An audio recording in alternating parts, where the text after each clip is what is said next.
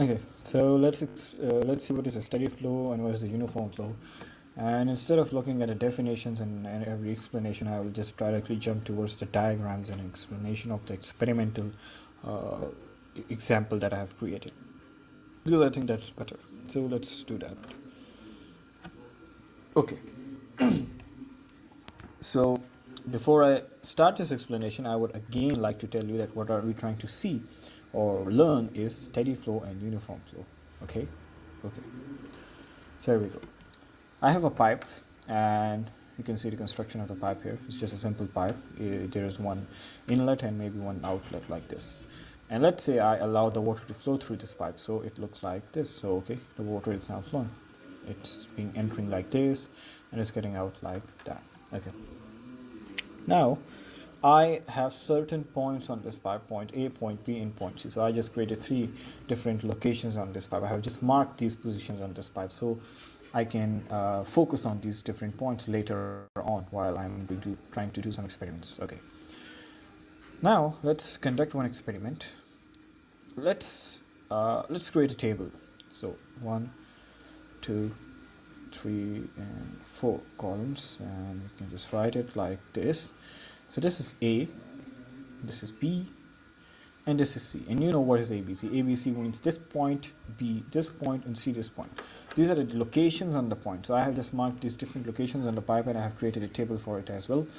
And then this line is this is for time.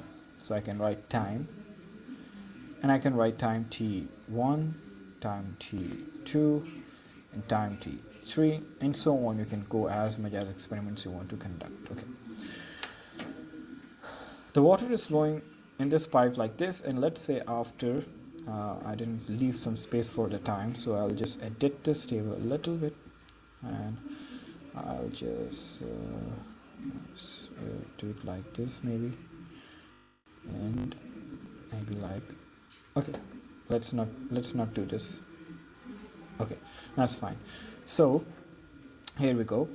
Time t1 is 0 minutes or 0 seconds or whatever you, you can do it like this. 0 minutes. Time t2 is after 1 minute.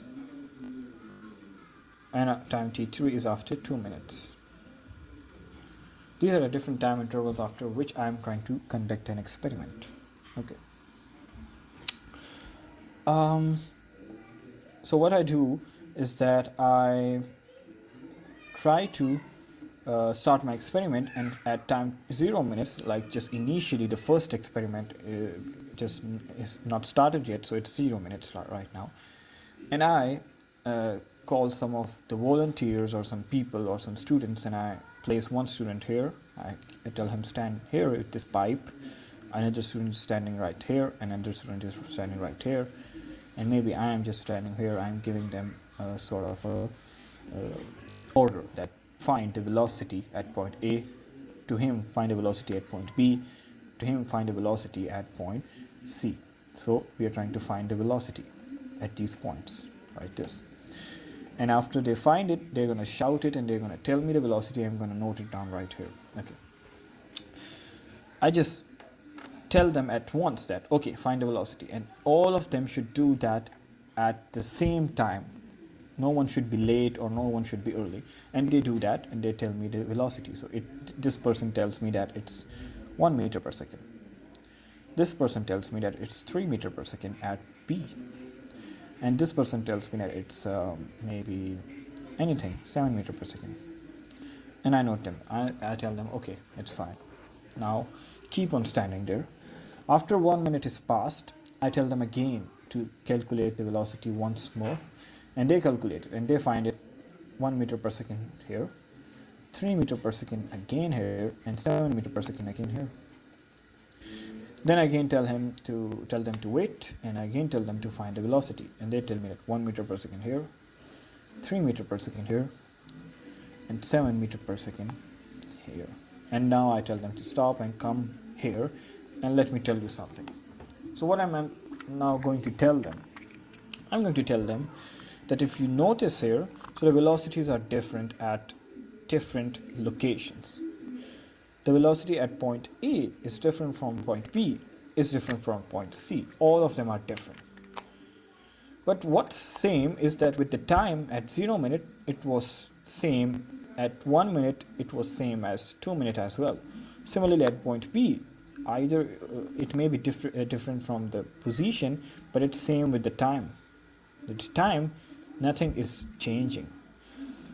So this type of uh, configuration in which with the time the velocities are not changing. Whether they are different even with the points but they are same with the time. So I say that this velocity is a steady uh, this flow is a steady flow. Steady flow. Done this is what we call as steady flow this is what's written in the definitions this is what's written in the explanation so if I read the definition of the steady flow now now you will get it it says the steady flow means when the value of the parameter, parameter means velocity, doesn't vary, is not different, is same with the time. So you can see here, it's same with the time. 111, 333, 777, it's same. So that's steady flow. Now let's see what is uniform flow.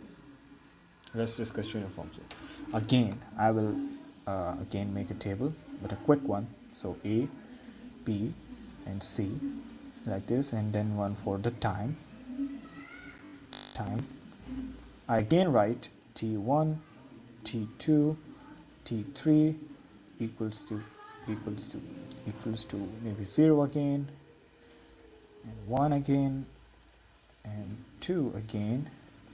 And again I tell them to go and stand there. So one person goes there one there one there and I'm standing here. And I'm going to again tell them calculate the velocity at zero just initial the beginning. So they're going to calculate the velocity at once and they're going to tell me again and I'm going to note them down. So it's going to be maybe 4 meter per second at point A this time. Then I uh, also the B1 tells me it's 4 as well here as well. I'm like wow. And then the point C tells me it's 4 here as well I'm like okay then I tell them again after one minute to find the velocity again and they calculate it and they're like, okay, it's 6 meter per second here. It's 6 meter per second at B as well.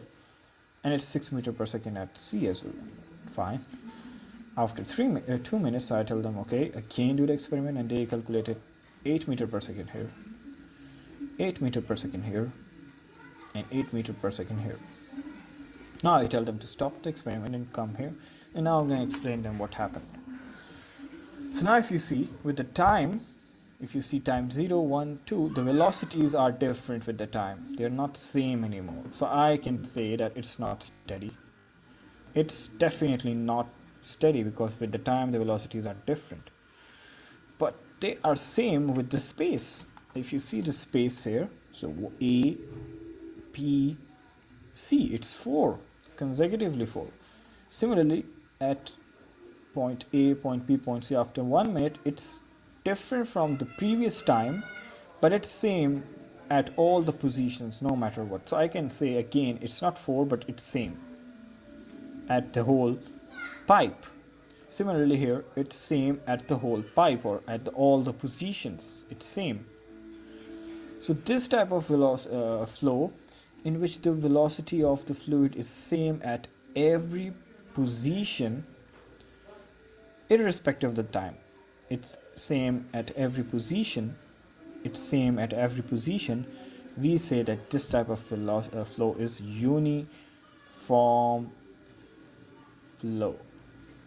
So with the time the flow is not same but with the position abc it's same 444 666 888 so we say it's uniform so now if you see the definition of the uniform flow, you're going to get that. It says that uniform flow means when the value of the parameter, which is velocity, doesn't vary over the space or we can say position. So when it's same with the position, so we say that this is a uniform flow.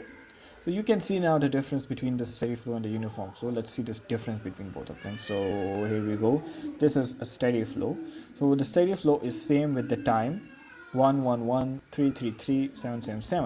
but the uniform flow is different with the time it's 468 468 468 so this is a difference the steady flow is same with the time the uniform flow is different with the time another difference the steady flow is different with the space 137 but the uniform flow is same with the space 444 666 888 so that's the difference between the steady and the uniform flow. So we can write it here.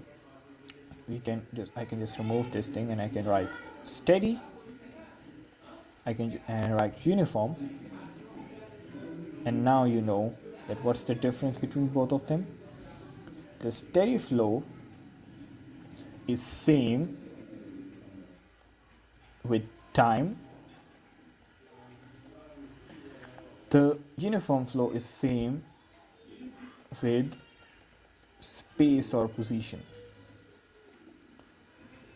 Space or position. So again if I show you the space or position means ABC 444 ABC 666 ABC 888 so there's this thing that it might not be same with the time like 4 6 and 8 is different but 4 4 4 it's same with the position. 6 6 6 it's same with the position. Similarly the unif uh, the steady flow is same with the time. So 1 1 1 3 3 3 7 7 7 okay so that's pretty much the explanation of the uh, steady flow and the uniform flow. If i tell you another example maybe the velocities are like this like it should eh, it may be at point a point b and point c with the different time t1 t2 and t3 the velocities are 1 1 1 1 1 1 1 1 1 so you can see it's same with the position and with the time. With the position same. With the time same. So we can say that this type of flow is steady as well as uniform. Steady and uniform flow. This is the uh, explanation of the steady and the uniform flow. And the basic explanation have been told. This is a, another explanation that you can read and maybe note that down with yourself. And this is the same thing that i've just explained. And these are the definitions that you can note down with yourself. Thank you very much. That was explanation for the steady and the uniform flow. And take care. Bye bye